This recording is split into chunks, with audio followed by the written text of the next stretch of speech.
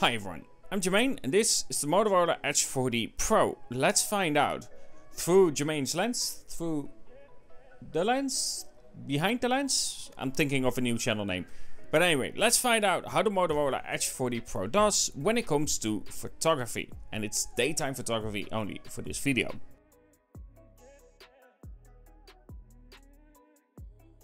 So as always, let's begin with the specifications. It comes with a 50 megapixel main sensor, which is of course the wide lens, a 1.8 f-stop and a 1 over 155 inch sensor size.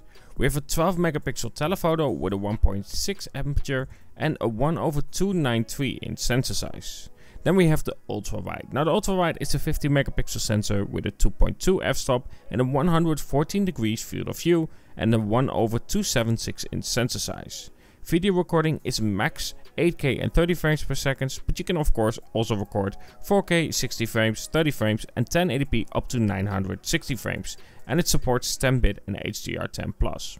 And of course what cannot be ignored is the display itself. It is really important to have a proper display during photography, especially if you want to play with different angles. And here I think that the Motorola Edge 40 Pro does really well. When it comes to that display, it's excellent.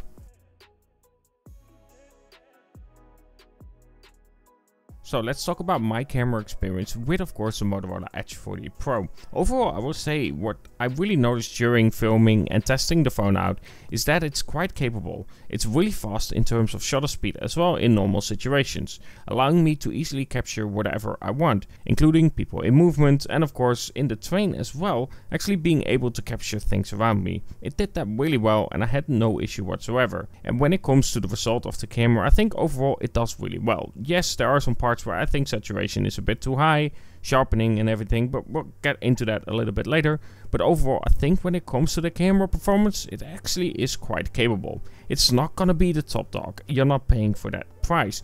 But overall, I think if you want to quickly capture a shot, it is quite good, but just not the best.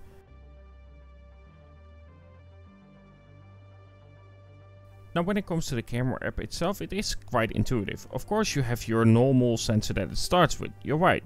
You can zoom in, you can go to the ultra wide and of course use macro mode as well. Below you will find your photo, your portrait, your pro and of course slow motion and many more options, including for instance night vision. In the photo mode you can also play around with the ratio of the shots itself. You can have it 3x4, you can have it 9x16, you can have it really large as well and a 1x1. You can put your HDR on and off really easily and overall the settings are quite intuitive. When it comes to video recording, as stated, in video mode you can have for instance your steady mode on and off. But of course do know that in steady mode you are limited in terms of video recording capabilities when it comes to resolution. You also have your night vision for video recording as well. To change the video resolution it is quite intuitive as well. Drop it down and you see the different resolutions and of course aspect ratio as well. When it comes to recording, you can set it to HDR10+, but do know that 4K and 30 frames per second is the max then. Either way, let's look at some shots that I've taken on the Motorola Edge 40 Pro.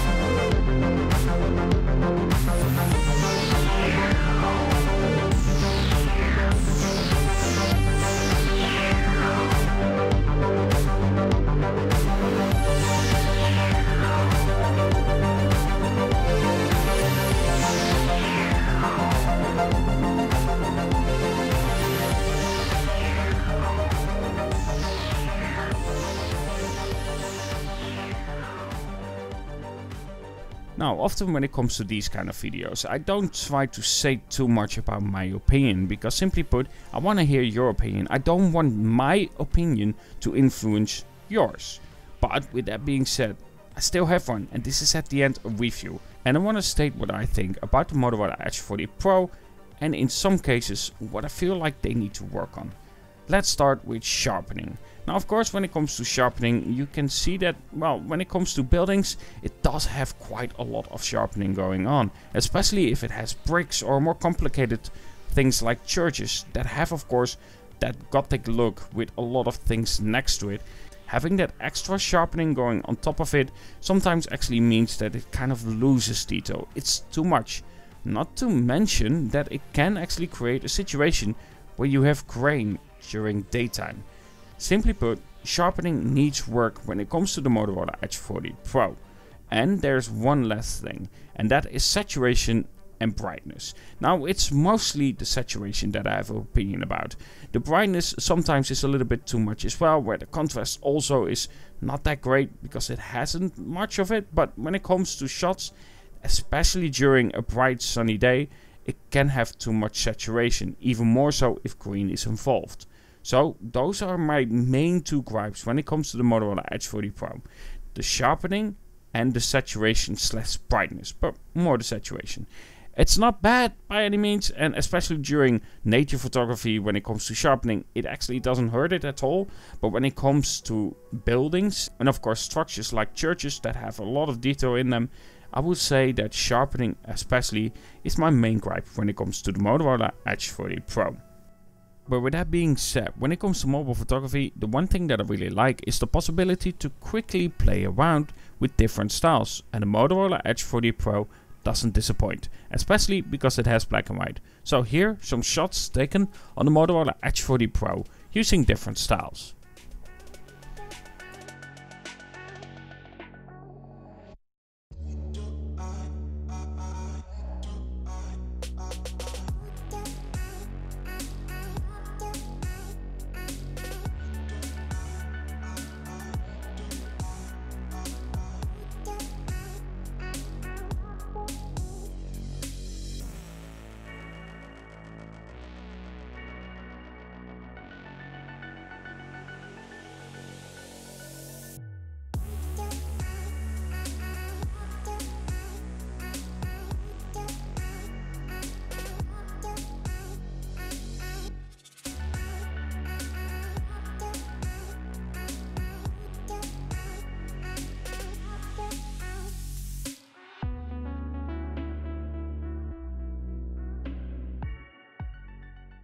8K, 30 frames per second, recording. Of course, Moto X40 Pro.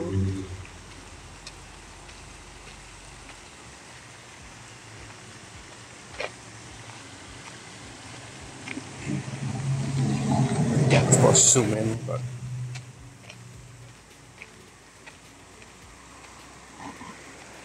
Right, 4K, 60 frames per second, stability mode on because with 8K you cannot have stability mode on. Of course that makes a big difference in terms of how stable the footage is. Now the sun is behind this building. It's a very strong sun, of course, getting lower. Uh, you cannot zoom out to the ultra wide. This can only be done in 1080p and 30 frames per second. Ultra wide, 4K, 60 frames per second. Pretty much same rule. You can see sun's right there.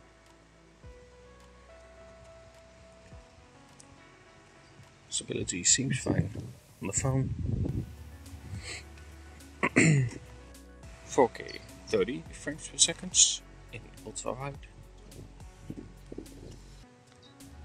That is really hard to capture.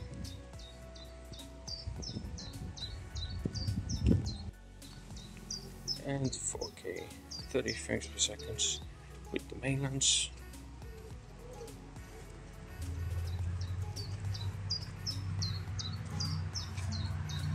See, is right there.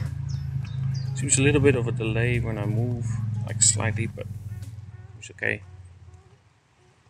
Like I said, this is 1080p and 30 frames per second, but now I can move to the ultra wide freely between those two lenses. Of course, zooming in can be done with all of them, but I assume that it won't use the zoom lens when you are actually recording 4K 60 frames, 4K 30 frames, and 1080p 60 frames.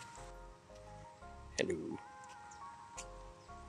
So, at the end, how does the Motorola Edge 40 Pro perform?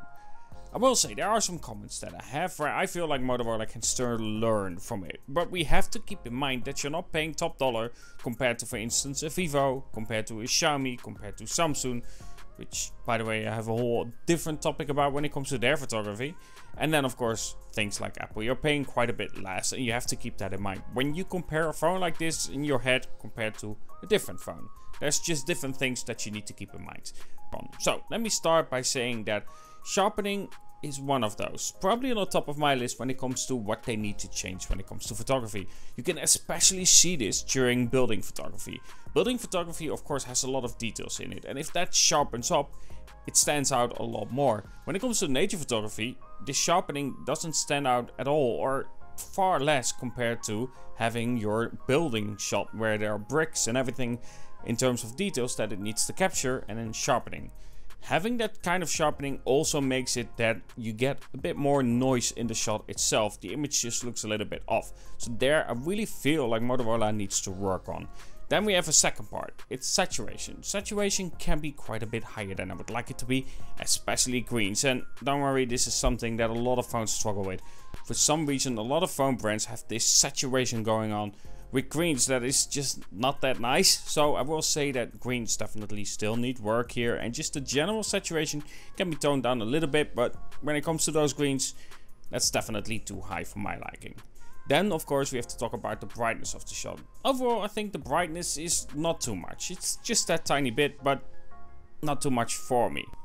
And then when it comes to the ultra wide, this kind of fits the same program, right? You get the same kind of feeling that it needs the same amount of work when it comes to what you want out of the shot itself. And I think ultra wide in general is a little bit weaker when it comes to Motorola devices. When it comes to things that I really like about it, however, it's the possibility to play around with the camera. I find this really important. This is a fun part about the experience of photography. Having the possibility to play around with the shots is something that I really enjoy. This is why I returned the Google Pixel 7a. It's just simply not for me. I cannot play around with the device and therefore I will send it back because simply put it's 509 euros and if I'm not going to use that device it's a real waste for me and I really wanted to experience it and therefore I gave it a chance but if I don't have that possibility to play around with it I generally don't care that much about the device. So when it comes to the Motorola Edge 40 Pro, I do have the possibility. Not to mention, the black and white is actually quite nice. You have of course your black and white classic, where it's a little bit more brighter and it doesn't have a lot of contrast to it. You have your black and white vivid, which the name itself doesn't make a lot of sense because it there's no color in it and I feel like it's somewhat related to of course colors but when it comes to that one you get a bit more contrast and the shot looks a bit more dramatic and that is something that I truly enjoy about black and white. Black and white photography is something that I enjoy. Having the possibility to play around with those and of course different filters or effects is something that I truly enjoy when it comes to the Motorola. Not to mention that you also have a leveler on there. Some devices don't have that and that's something that I enjoy as well. But what I really want to have as well is at the moment that I am level, I want a kind of like a vibration on the motor itself so I know even if I cannot properly see the screen itself that I'm level. Either way, when it comes to the Motorola Edge 40 Pro, I will say, overall the camera performance is fine. It's not gonna blow you away because you're not paying that amount of money for it. But overall, I think it's fine. It's just not as good as for instance the Xiaomi 13 Pro or the Vivo X90 Pro. I prefer those over the Motorola Edge 40 Pro, but again, I'm not paying the same amount of money for it, so it makes a lot of sense. And it is helped by being really fast in the shots itself. I definitely noticed that. If I'm capturing a shot of a moving subject, a person for instance, it does capture that really fast. So that definitely helps when it comes to the Motorola Edge 40 Pro. It just needs a little bit more work on how they process the shot itself. Anyway, let me know in the comments below what you think about the camera result because at the end this is my preference. My preference doesn't necessarily has to be yours. You can be in a very different opinion where you want that sharpening, where you want that saturation, where you want the brighter shot. So therefore it's hard for me to say what you need to like and all that stuff. So let me know in the comments below what you think about the camera result, what you think about the Motorola Edge 40 Pro because I'm curious and it is always fun to have a debate about it. Anyway, hope you enjoyed this video and of course if you did don't forget to like, subscribe and everything. I'm trying to hit 10k before the end of the year. We'll find out if that works out but either way, hope you enjoyed and of course talk to you guys in the next.